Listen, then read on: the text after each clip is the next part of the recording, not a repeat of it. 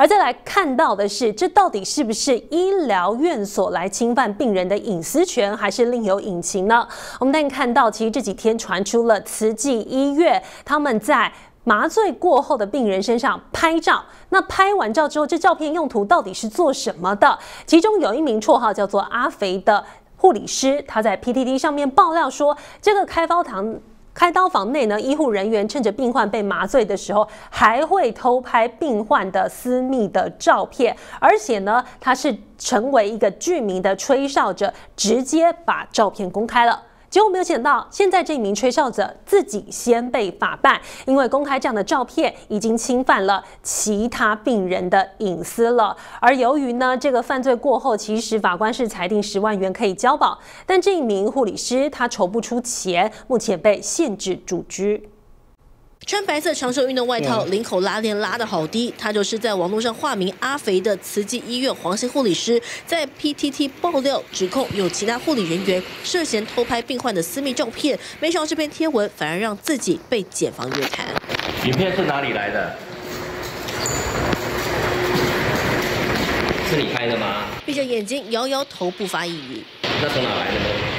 一样沉默不回答。漏夜侦讯之后，被检方依照刑法妨害性隐私罪，预令十万元交保。但他一次连续联络了四个小时，还是凑不足十万元的保释金。检方改将他限制住居，同时要求配合警方调查搜索住处。原来他二十三号在 PTT 爆料，台北慈济医院护理师涉嫌偷拍病人私密照。他在开刀房任职半年，希望在离开之前能够说出这些令人作呕的事实，只是想要揭露问题。除了文字，竟然还贴出。三张疑似病患被拍摄的照片，虽然打了马赛克，但抛出这些私密照，恐怕已经涉嫌犯罪。为什么要抛上？是不是有什么要说的？医院是不是有人很多人做这样的事情？二十九岁黄姓护理师被检警传唤说明之后，供称这些照片是在医院同事赖群组里面看到的，但到底是谁拍的，他交代不出来，也不愿意透露任何线索。警方不排除当中有部分照片就是他自己拍的，目前已经到他的住处，也就是医院的宿舍，查扣电脑、手机和平板，也将逐一分析手机里面的对话内容，要查这些照片的源头。TVBS 新闻庄启源、陈冠礼杰新闻报道。而在病患不省人事的时候被拍下照片，那术前是否获得这个病患的同意呢？目前针对这一起吹哨者的案件，其实慈济医院呢是回应这些爆料当中的处置都不是事实。那么有不愿意具名的慈济医院的同院护理师表示，他认为这一些呢被拿出来指控的照片，很有可能只是处置要来证明术前术后一个对比的照片。同时，这些照片呢应该是做病历上的。使用，而过去呢，其实健保署他们在调阅病历上也会使用到类似的资料。台北慈济医院黄姓护理师爆出争议，他在个人的 IG 上经常分享生活点滴，但背景不只有在病房护理站，连开刀房的照片也有，不免让人质疑他发文的内容真实性。对，有可能是医生要打病历，然后所以拍照。个人是觉得就是病人就是病人，所以我不会想要额外摸他的身体之有其他护理师透露，发文的照片看起来像是病历照，都会在病人知情下拍摄。要进到开刀房内进行手术，大多的医院都会严格落实层层管控，降低感染的风险。而外科的部分，为了让病患能够看到手术前后的差异，也会进行拍照。整形外科手术前、手术后都会有一个照相，这个都是经过病人同意的。照相的记录是病历的一部分。嗯，所以这个很重要。其实开刀时不会仅有一名医师在手术室内，而是会有医师助理、麻醉科人员、护理师等人。而拍照之前都会告知病人，经同意后才进行。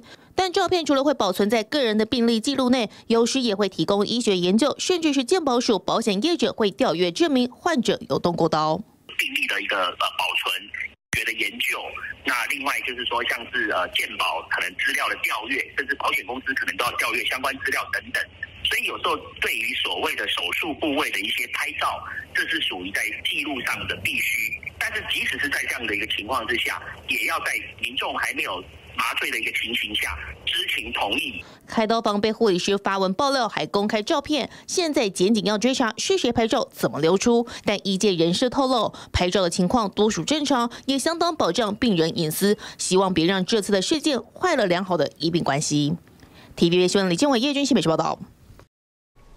而持续关注演艺圈的话题，黄子佼呢，除了 Me Too 风波之外，近日呢也涉入了一些性侵害的案件，目前都已经在进行司法的审理当中。不过外界更为关注的是他的妻子孟耿如的状态究竟是如何，甚至有不少热心的网友呢跑去孟耿如的社群，在先前留言说他应该要离开黄子佼。不过现在这些传言呢传得沸沸扬扬，有人说呢黄子佼早就。爆出婚姻出现危机，外传他会给出一亿的安家费，但是条件是希望孟耿如三年之内不要离婚。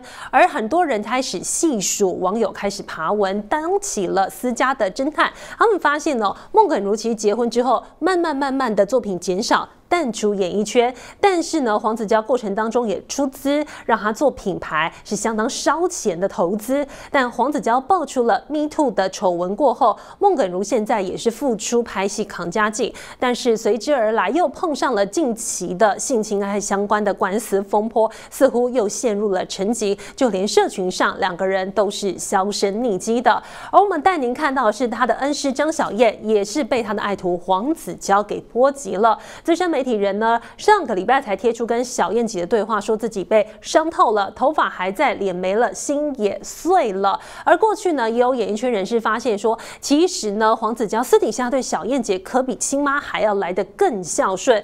小燕姐呢拿下金钟终身成就奖的时候，黄子佼呢就发起了一项社群上面的串联活动，这活动就叫做一人一张张小燕，可见两人关系相当好。所以张小燕说重话，似乎也呈现出她。内心世界的撕心裂肺了，而同样呢，也在去年的 Me Too 风波当中，中箭落马，也被指为有不当行为的右肾，近期传出似乎积极希望能够复出，而这一次呢，其实他卷入 Me Too 事件之后，目前官司也在进行，他坦诚犯行，裁定八万元交保，而有媒体爆料，他向名制作人王佩华，过去两人曾经在犀利人妻上面合作过，希望跟他求救。帮他规划复出的道路，让他的事业再有起色。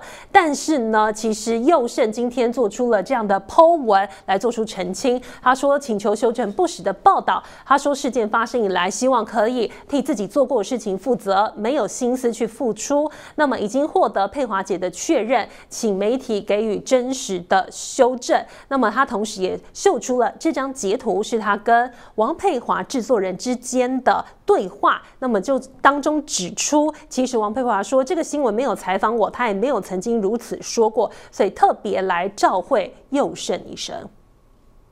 艺人佑胜卷入性骚扰风波，因为在二零一六年非礼女性友人，被依强制猥亵罪起诉。上个月再度开庭审理，法官预令八万元交保，演艺工作就此停摆十个多月。当时佑胜就透过经纪人回应说，尊重法官判决，一切依法处理，静待公开资讯。谢谢大家关心。但今天却被报道指出，疑似前阵子有求助犀利人妻的制作人王佩华帮忙，希望。能够复出演艺圈，而稍早又生在脸书发文，并附上跟王佩华的讯息截图，强调事情发生以来只为自己做过的事情负责，从来没有心思去寻求复出，并写下自我反省、修正品格、扛下责任是我目前唯一该做的事，没有其他。谢谢大家，直接否认复出报道，并点名媒体修正。底下有不少网友表达支持，但有部分民众还是希望他跟贴文写的一样，暂时都不要出现在荧光。目前。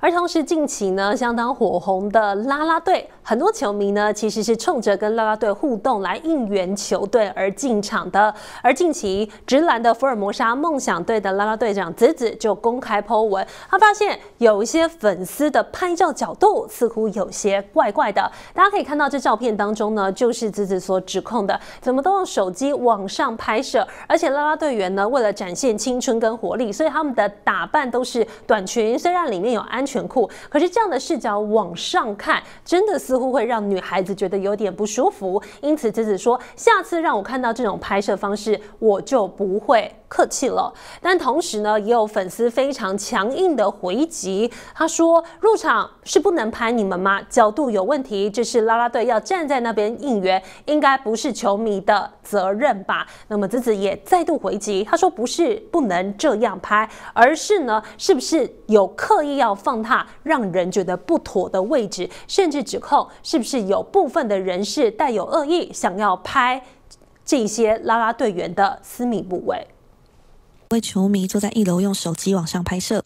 而且不止对卢卢米，对其他学妹也是这样。一楼球迷拿起手机往上拍摄，在观众席应援的啦啦队 Formosa Sexy 女孩们。队长子子说：“这根本是恶意，因为他是奖牌，我们放大一点，他是放大私密处的部位。而我们也发现，其实之前我也曾与这个球迷互动过，因为我们从来都没有觉得不能由下面往上拍。四面八方的球迷，我们都希望可以照顾到。先是子子火大开轰，对方故意拍摄副队长如如。群下，不过有网友反问：入场是不能拍你们吗？角度方面有问题，就是啦啦队要站在那边应援，应该不是球迷的责任。子子回没有不能从下往上拍，他们都会跟下方的球迷互动，但刻意放大让人觉得不妥的部位，不管女孩们站在哪里，穿什么样子，对方都会是这样拍摄的。